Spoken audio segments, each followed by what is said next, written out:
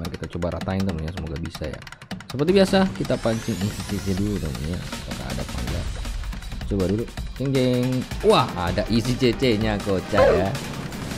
Bang Ahim lupa bawa healing spill kocak. Apakah ini bakalan rata guys? Sepertinya tidak teman-teman. Terlalu berat. Terlalu berat Bahim cuma bawa harat healing spill teman-teman. Berat beco. Astaga ada bom giant di sana. Oke guys, assalamualaikum warahmatullahi wabarakatuh. Selamat datang kembali di channelku Ahim YT bersama Bahim di sini. Dan di video kali ini kita bakalan bermain Clash of Clans lagi teman-teman ya. Dan sesuai di judul di video kali ini Bahim bakalan share ke kalian strategi serangan darat menggunakan di Town Hall level 7 ya.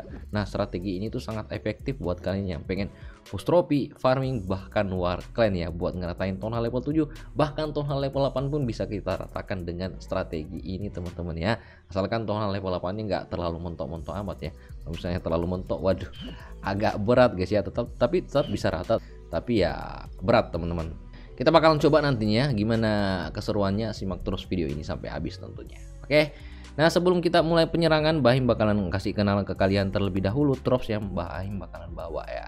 Nah oke untuk Trops utamanya kita bakalan bawa 35 Hawk Rider ya. Sisanya adalah pasukan bersih-bersih. Nah untuk pasukan bersih-bersih di sini Bahim lebih suka pakai minion ya. Di sini Bahim pakai minion 10 ya terus sisanya archer ya archernya di sini nanti bakalan Bahim gunakan juga buat pancing isi CC ya.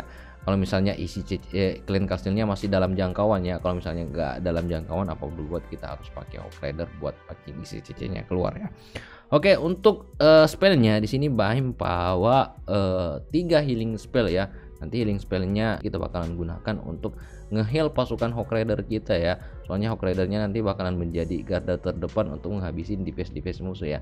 Jadi Hawk Ridernya nanti bakalan banyak kena damage dari defense musuh bahkan trap uh, lawan juga ya.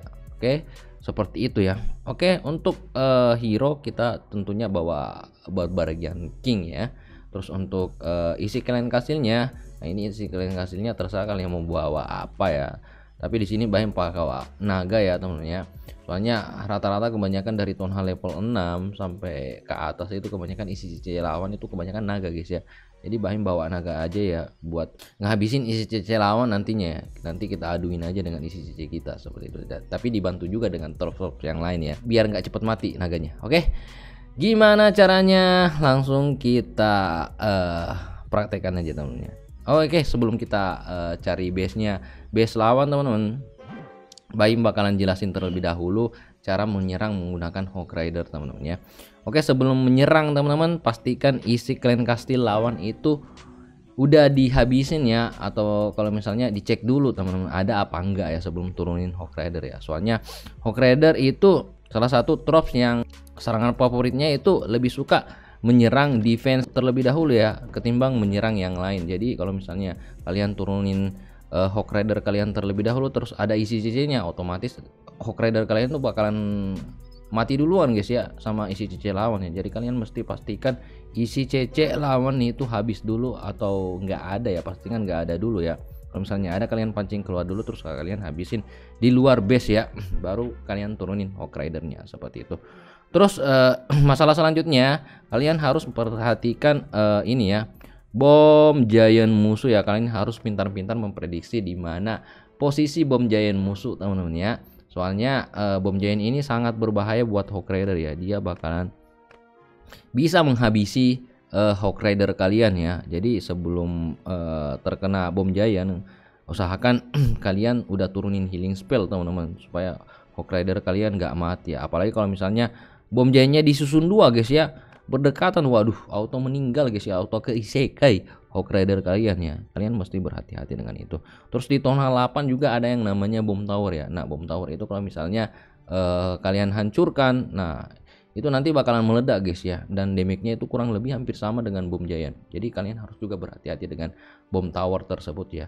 Terus sisanya aman sih kalian uh, cukup memperhatikan wizard tower sama motor ya. Kalian harus utamakan serang ini dulu ya soalnya damage-nya area itu juga sangat berbahaya buat Hawk Rider ya. Terus Barbarian King apa boleh buat ini nggak bisa dibunuh teman ya kecuali kalau misalnya Barbarian Kingnya ada di luar ya kalau misalnya ada di tengah waduh.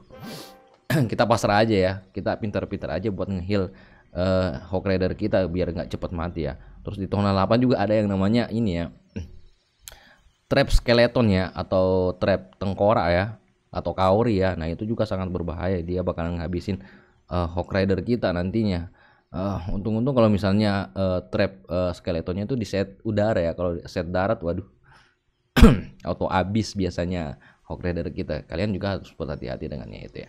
Oke kita langsung cari aja base yang bakalan kita ratakan teman ya. Let's go Oke guys, akhirnya kita dapat Town Hall level 7 teman-teman ya. Ini cukup lumayan max ya. Oke. Mari kita coba ratain teman ya, semoga bisa ya. Seperti biasa, kita pancing isi CC dulu teman ya. Apakah ada apa enggak? Coba dulu. Jeng jeng. Wah, ada isi CC-nya kocak ya. Oke, kita pancing dulu ke sini teman-teman.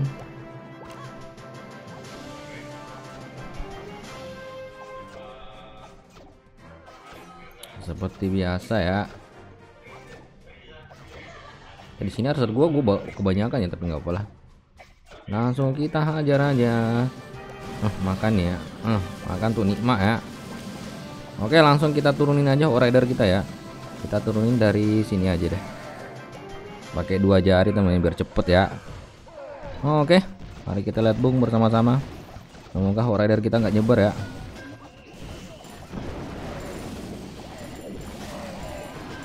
Oke, kita taruh sini.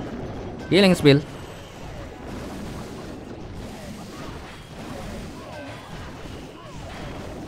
Nyebar, nyebar, rider nyebar.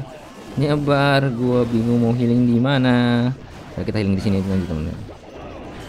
Oke, mantap ya. Ini mah auto rata teman ya. Sudah tidak diragukan lagi, teman-teman. Pas banget ada ini. Ada bom giant di situ ya. Pas banget gua heal di situ ya. Mantap ya. Auto rata temen ya. Kita masih menyisakan satu spell healing temen ya. Auto freestyle dulu, Bos.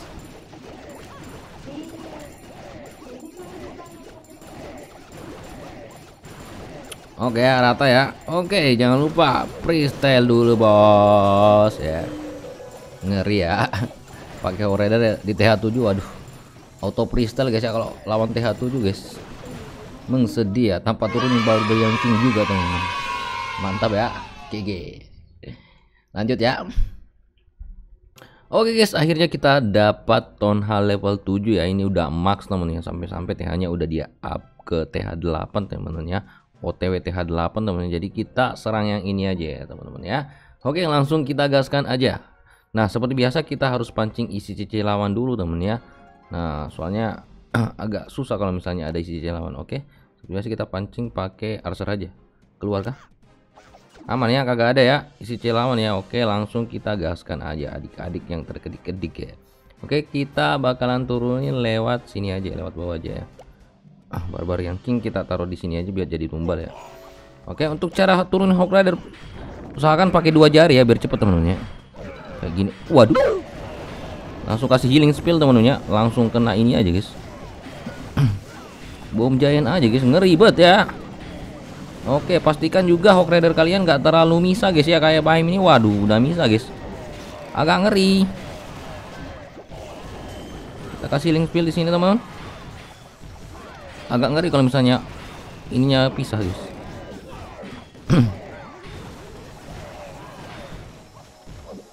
Oke masih ada link spill di sana Oke, easy peasy lemon squeezy temennya. Ini lawan udah habis ya defense-nya. Tinggal kita turunin pasukan bersih-bersih aja, teman.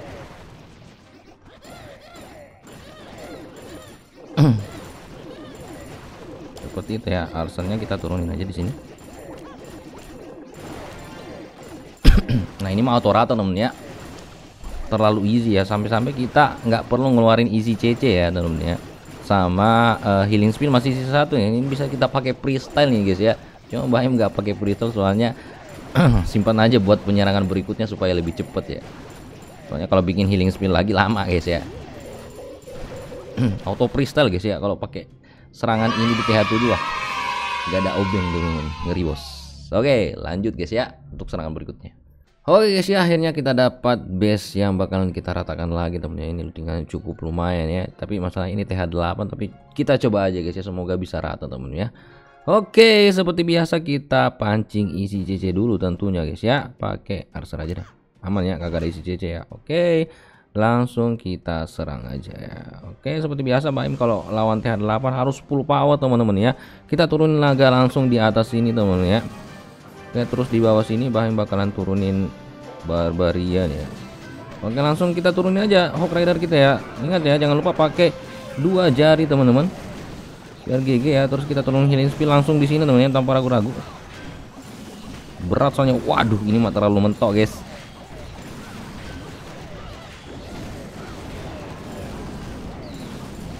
Bang Ahim lupa bawa healing spill kocak Apakah ini bakalan rata guys? Sepertinya tidak teman-teman. Terlalu berat. Terlalu berat Bahim. Cuma bawa harat feeling spill teman-teman. Berat beco Astaga ada bom giant di sana. Ada bom giant di sana. Apakah bisa rata teman-teman? Bahim lupa bawa healing spill. Kocak kocak. Cuma satu doang healing spill. Cuma yang tadi doang tuh di serangan sebelumnya ya. Apakah bisa rata teman-teman? Semoga bisa rata ya. Wah bisa rata sih ini. Gila sih. Cuma pakai satu healing spill teman-teman Semoga kena bom giant lagi ini kita. Hawk Rider gitu ya. Wah, ngeri sih parah. parah Bang Lupa bawa healing spill ya. Parah sih, parah sih, parah. Teman-teman harus perhatikan juga ya kalau menyerang ya. Pastikan uh, drop sama spell kalian itu ke bawah semua teman ya. Oke. Harusnya ini easy peasy lemon squeezy ya.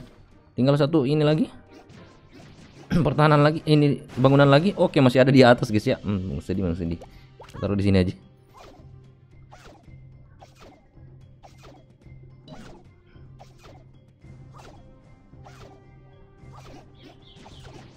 Oke guys ya. Luar biasa guys ya. Bisa rata dengan sempurna dengan cukup satu healing spill temen ya.